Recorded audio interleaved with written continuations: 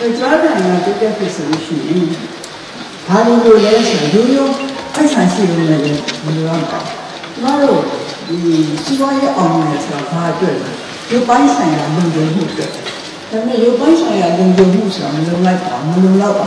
ကျွန်တော်ရဲ့နိုင်ငံပြည်နိုင်ငံသားများအားလုံးစိတ်ပိုင်းဆိုင်ရာလုံခြုံမှုတို့အပ်ပါတယ်စိတ်ပိုင်းဆိုင်ရာလုံခြုံမှုအတွက်ဆိုတာစီးပွားရေးတစ်ခုနဲ့မပြီးပါဘူးကျန်းမာရေးပညာရေးဟာဒီကမှအရေးကြီးပါတယ်